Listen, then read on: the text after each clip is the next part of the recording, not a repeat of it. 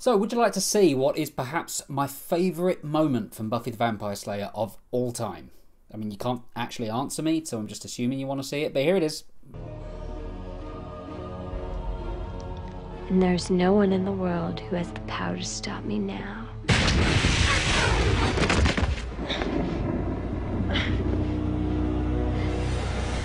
I'd like to test that theory. Well on, Giles.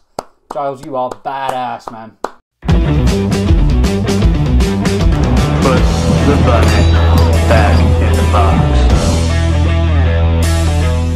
So, welcome back to episode by episode, a series of videos where I look back at every single episode of a TV show and give my brief thoughts on it. We're still on Buffy the Vampire Slayer. This is the second half of season six. I think I've decided what the next show is going to be after this, so stick around to the end of the video and I'll announce that. But once I've done these videos, once I've done season seven, I'll do a top 10 best list, a top 10 worst list, and then we'll move on to the next show. Uh, but for now, yeah, Buffy the Vampire Slayer season six, part two. Let's kick things off with Doublemeat Palace. Bugger. So this is right around the point where I have serious issues with season six. Started with smashed and it goes all the way up really to around normal again, entropy, sort of that sort of part. So it's a big spell of season six that I'm not a huge fan of. So this is probably going to be the shortest video so far because I don't have a huge amount to say about these episodes because they're the ones that I've watched the least. And Doublemeat Palace, this isn't a great start to this video, is it? This episode has its moments. Like there are a few things I like about it. I enjoy Xander and Anya in this one, and the whole they're eating people. That's fun. Uh, Buffy running around knocking the food out of everybody's hand is great fun as well, and Buffy and Willow together as well. I like them in this part in this episode.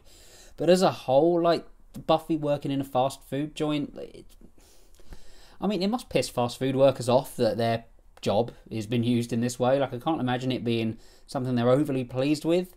Um, but just nothing about this really works. Like the story itself is just ridiculous. It's very, very silly. The characters, like the manager, what's his name, Jerry or something. So it's been a while. Is so unrealistic that I just can't buy him. And the villain is an old lady with a penis for a head. Like, why, why? Um, an episode that I've only seen a couple of times, and like I've watched Buffy as a rewatch multiple times now, but there are a few episodes around this point that I've only seen a couple of times. Uh, this is one of them, just an episode I never really got on with. One of the worst, I think, for Buffy. Yeah, not a fan of Doublemeat Palace at all. I think, weirdly, there are a few people that really like it, so if you do, let me know why, because I'm genuinely curious. Um, no judgments. Um, yeah, but for me, not a good episode. Not a good one at all. Dead Things. The Buffy misery keeps on coming, doesn't it? I mean, she's been put through so much this season that it's almost getting to the point where it's just like, oh, really? Really? Something else? Now she's going to think she's murdered? She's killed someone? That's what we're going to do now? This part of the season, like, it all just got so dark and so dour, and this episode is another example of that. It's just really, really grim. Like, there's no fun, really, to be had in this one at all. Buffy and Spike's balcony sex is creepy. Like, it's a bit weird. Not a big fan of that. Um, I mean, there's some good stuff to come from it. Sarah Michelle Gellar's acting is great. As is Michelle Trachtenberg. Like the scene where Buffy thinks she's going to prison. Like it's played really well. I can't fault the performances here.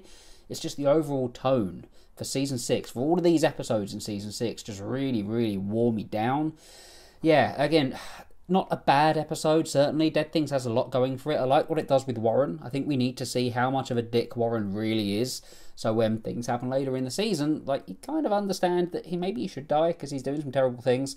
Um, it's good they started that in early. It wasn't just the one action he does later on that makes you think he should die.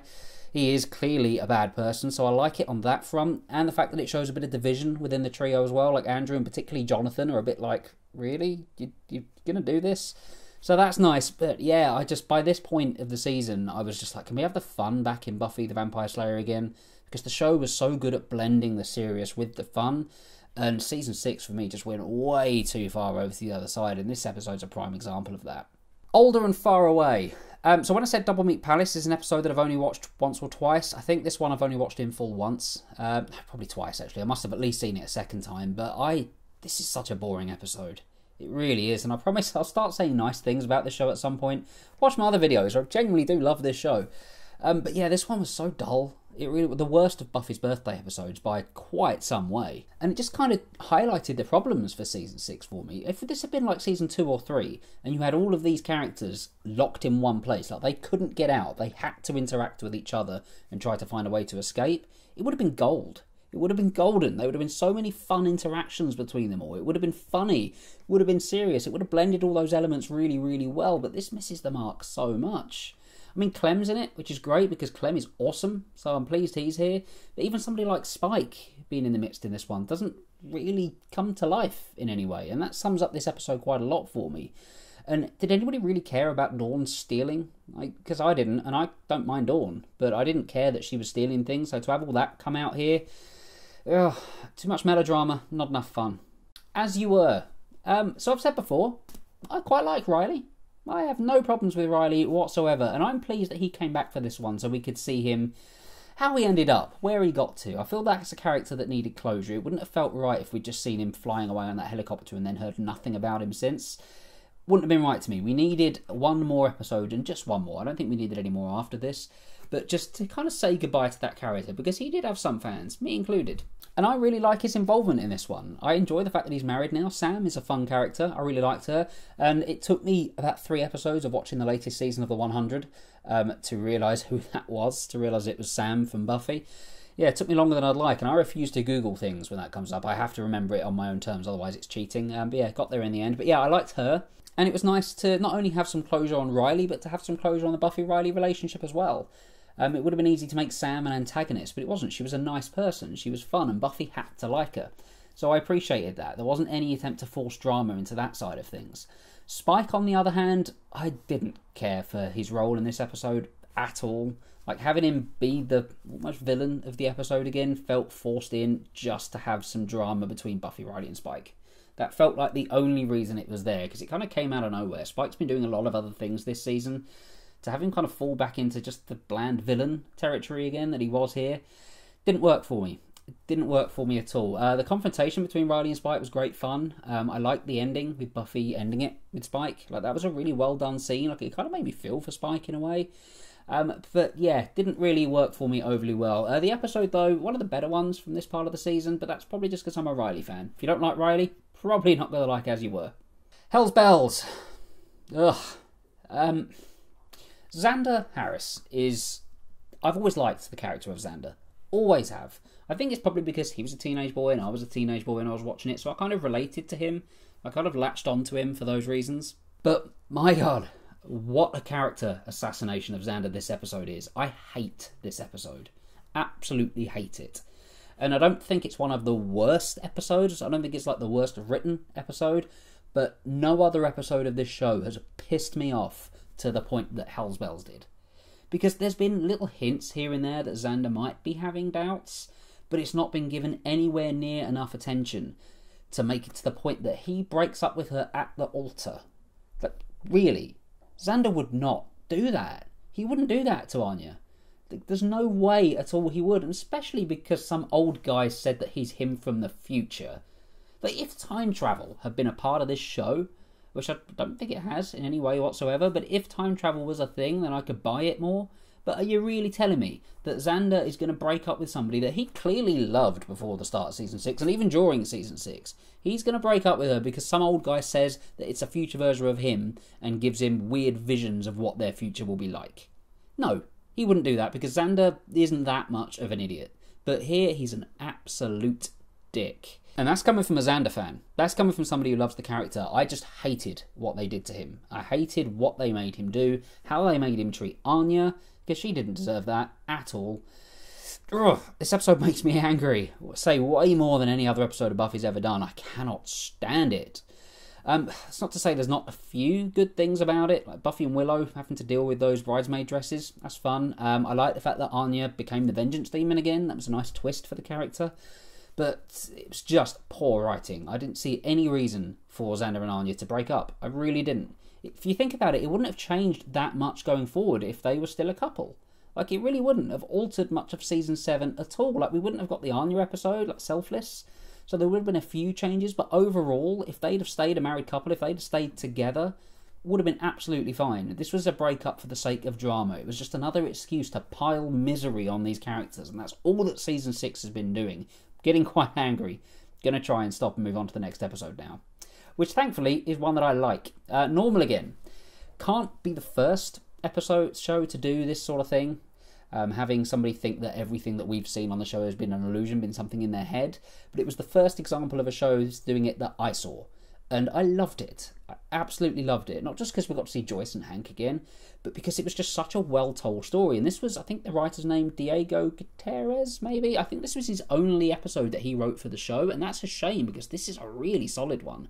The best episode for season six since probably Tabula Rasa because it's done in such a clever way. Like it genuinely makes the audience question whether Buffy the Vampire Slayer is actually real, or whether she is just a girl in a mental asylum having these delusions of grandeur, delusions that she's saving the world. Because when you think about it, the, the whole premise of the show is absurd. It is, and that's pointed out to Buffy in this episode. It's one of the things used to make her think that maybe I am nuts you can't blame her for thinking it. Just describing some any of the things that have happened to Buffy in regards to supernatural and vampires, like it sounds insane. And it does such a good job of showing Buffy gradually being worn down to the point where Buffy in the Slayer world, in the real world, is trying to kill her friends to kind of exorcise them from her life. Just a really well done episode. The performances are great. Sarah Michelle Gellar is incredible in this episode. She does such a good job. Um, the only thing I'm not too keen on is the ending, although I kind of like it in a way. It's just kind of trying to leave that question out there of is it real? Isn't it real? And I'm not a huge fan of that, but that's only a really small niggle. Uh, this is, say, a really, really good episode, one that I loved. Entropy. Um, the Xander character assassination continues. Like, I get why he'd be annoyed that Spike and Anya slept together. Like, I understand that. But to be so entitled and so arrogant and so full of rage about it, all acting like the victim when he's the tosser that did this in the first place. Piss off, Xander. I'm so glad that we get to the end of the season and he does something really good to make me like him again because oh, he was a struggle. And a real struggle in these episodes. Like, Anya can do whatever she wants. Like, Anya and Spike, they're both hurting at the moment. If they want to have sex, they can have sex. It's nothing to do with you, Xander. You made sure of that. You did that yourself. And it just felt so contrived as well that the trio's cameras are hacked and everybody can watch it just as Spike and Anya are doing it. Just as they're bumping uglies, that's when everybody tunes in to the Magic Box camera. Like, really, Buffy's better than this. It's better than those cliched moments. And I say it is very, very contrived. Um, the acting's good, at least. The performances from everybody involved in this are great. Uh, Nicholas Brendon, as much as I hate what Xander's doing, gives a very solid performance. Like, his reaction to finding out about Buffy and Spike in particular is really well done. Like, he delivers that moment, I think, absolutely perfectly. But yeah, I just wish we could get out of this. I wish we could get back to the fun again. Uh, thankfully, the episode did give us Willow and Tara getting back together, which was a really nice moment. Um, I hope they stay together. I hope nothing bad happens in the next episode. Really do. Um, but yeah, nice for them. Like, I enjoyed that. I enjoyed seeing them reunite again. I felt that the characters had earned it. It had been enough time of them apart that it felt like a good time to bring them together. But everything else in this episode, I say performance wise, great, but the actual story itself, I can really do without. Seeing Red. Here we go. Um, okay, to start with, the opening credits, like including Tara in the opening credit sequence, what a dick move, Joss Whedon. What a wonderful dick move. Um, it kind of reminiscent of what he wanted to do with Jesse at the start of season one. He wanted him in the opening credits, but the network wouldn't allow it, so he got to do that here with Tara. But yeah, how cruel. How cruel is that? Um, before we get to the main event, um, the episode itself, I kind of quite like. Um, I've got some problems. Uh, number one being Spike raping Buffy, or trying to rape Buffy. Did we need to go there? Did we really need to go there with the misery on this one? In fact, let's just kind of look at everything that Buffy's been through on this season, just to kind of prove that point about how just misery dumping this season was, to her in particular. So, since the middle of season 5, her mum's died, um, her boyfriend's left, um, she's found out that her sister is a key, um, her sister's been taken, she's had a mental breakdown, she's then had to kill herself. She's been reanimated in her own coffin. She's been dealing with the fact that she's got no money to pay the bills and things and having to take horrible, horrible jobs. Giles, her father figure, has left. She's ended she's got into a relationship with a vampire that she absolutely hates. She's been convinced that she's killed an innocent girl and is gonna go to prison. Then her abusive ex-boyfriend tries to rape her and she ends the episode getting shot. How fun is season six? So yeah, I'm not a fan of that. I know James Marsters in particular, he wasn't a fan of having to do those scenes at all. He wasn't happy with it. The only way they could have got Spike to be liked again by the viewers is to give him a soul, is to change that character up massively. Otherwise, it was irredeemable. And in fact, it is irredeemable. It's only because Spike with a soul is a different person to Spike without a soul that we can kind of get back on board with him again in season seven. But it was close. It was a tough one. James Marsters must have been worried that this was it for the character and there was no way back for him. Uh, the trio are quite good fun in this one. The rocket pack joke, it's hilarious. Like, it gets me every single time. I enjoy the three of them here. And I enjoy the fact that we kind of took a bit of a diversion from where I thought we were going to go. As soon as Warren became super powered, it was going to be the big bad for the season. I remember thinking this at the time. Um, but, of course, it's not. Uh, Buffy's able to defeat him and he comes in with that gun. And here's my big problem with seeing red. Uh, take a look at the clip of Tara getting shot. Think again.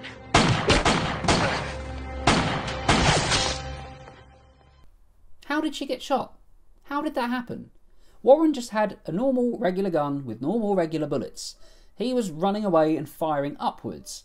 Tara was upstairs in the room. She wasn't by the window, which means the bullet had to fly up, turn, then go like that. That's not how bullets work. They go in a straight line. It's always bothered me. It's always really, really bugged me. I don't know how anybody who was making the show at the time didn't see that. That bullet should not have hit her. If you wanted Warren to kill Tara, have Tara like hear commotion, have a look out the window, and get shot in the head. That's a way around it. But this bullet shouldn't have done what it did. Really annoys me. Does it annoy you as well? Is it just me? Uh, but that scene is, other than that, is a good one. Um, although Buffy getting shot was a bit like, come on. Um, but just Alyson Hannigan's acting in that moment is phenomenal. It's so good. Just the shock and the blood splatting up against her. It's just so well done. Such a shock. And it really sets up the final three episodes of the season nicely. So I've got issues with seeing Red, but on the whole, it's a very, very strong episode, I think. Villains is much stronger. Um, again, I've just said how good Alyson Hannigan is. She's amazing here. Absolutely amazing. The change in Willow is done so well because she doesn't just go instantly evil. Like she's Dark Willow, yeah, she is borderline evil Willow with all her black hair and a goth look, but she saves Buffy's life. So there's still a lot of good in her, but it gets chipped away at as the episode goes on. The more her friends try to stop her from getting a revenge on Warren, the eviler she becomes. And it's fascinating to watch. It's so fascinating to see Willow as the villain here, and to see everybody else's reaction to it. Because everybody in the cast does a really good job with dealing with Evil Willow, with showing how shocked they are at what she's doing. And the final few minutes of this one, this was darker than I thought Buffy would go, but this is the kind of dark I could get on board with, weirdly. It wasn't just like a slog, it was a shocking, like, wow moment. Like, Willow tortured somebody and murdered them. Willow, the girl from season one, the girl with the dorky dress, has murdered somebody by ripping their skin off. Like, this is where we got to, it's such a well done sequence. It really is. Um, aside from the Willow stuff as well, there's some other nice moments here. I think Dawn finding Tara is heartbreaking. Michelle Trachtenberg in that scene is so good. Um, but yeah, mainly this is a Willow story. This is everybody dealing with the loss of Tara and then dealing what's happening with Willow. And yeah, top work by everybody here. I love villains. Such a good episode. Two to go. Um, basically continues on from villains and is just as good. Um, Jonathan and Andrew are great fun in this one. This is the episode I think I liked them the most in. Um, because they're scared. Um, they are genuinely terrified of Willow, and this becomes the point where Willow is a full on villain. Like, she's full on against everybody. Like, just watching her on this rampage is just awesome to watch. Like, the attack on the prison is great. Her killing Rack to get more power, brilliant moment. And that ending, the clip that I showed at the start, Giles turning up, just amazing. Um, my favourite Giles moment, I say my favourite moment from Buffy, I think, just his delivery of that line, I'd like to test that theory, is so good. And everything leading up to that is great as well. The fight between Buffy and Willow is really well done.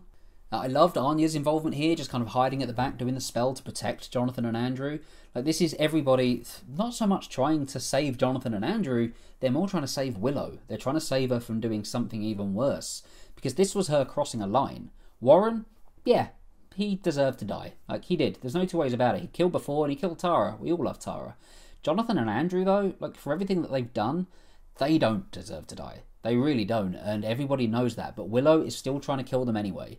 And it's kind of an easy step from there to trying to destroy the world.